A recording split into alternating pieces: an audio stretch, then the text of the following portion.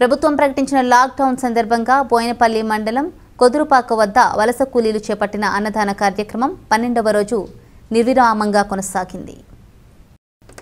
రాజ్యసభ సభ్యుడు జోగినిపల్లి సంతోష్ కుమార్ సౌజన్యంతో వలస కూలీలకు ఏర్పాటు చేసిన అన్నదాన కార్యక్రమం ఆదివారం రోజు విజయవంతంగా కొనసాగింది.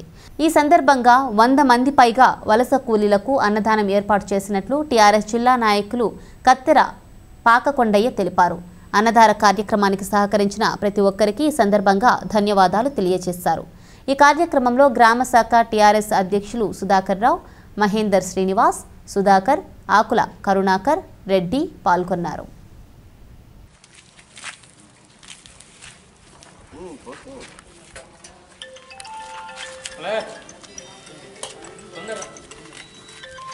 ప్రభుత్వం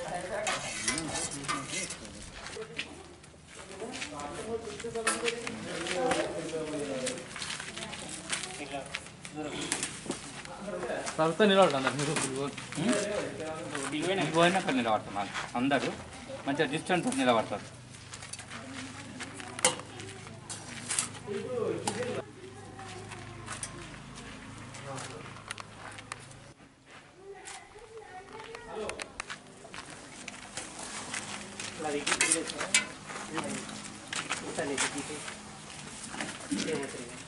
మండల్ అట్లా బోయినపల్లి మండల్ కుదురుపాక గ్రామంలో వలస కూలీల కోసము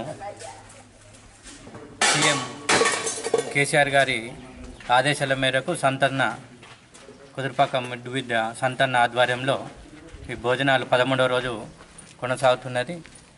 వారు మా కుదురుపాక ముద్దు బిడ్డ అయినందుకు మేము సంతోషపడుతున్నాము.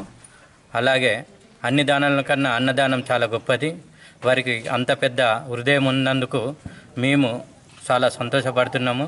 వారికి కుదురుపాక తరపున మరియు వర్ష కూలీల తరపున కృతజ్ఞతలు తెలియజేస్తున్నాం. జై